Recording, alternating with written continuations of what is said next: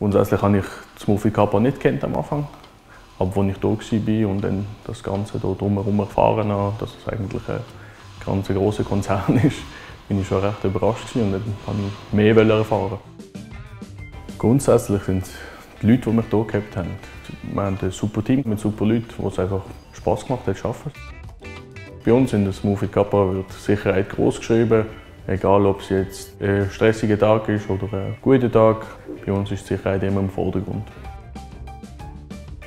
Ja, auf jeden Fall kritikfähig. Niemand wird als Meister geboren. Man muss hier ankommen und lernen, man muss Welle lernen und natürlich offen sein, offen sein für die Leute. Wir im Team machen noch viel zusammen. Wir sind bowlen, Go-Kart fahren. Das Weihnachtsessen gibt es auch jedes Jahr und jetzt dann ist auch ein Trip in einen Escape Room geplant. Wir produzieren Weltfarbkartonschachteln für die Lebensmittelindustrie, für die Chemie und für all die Sachen, die man einpacken muss.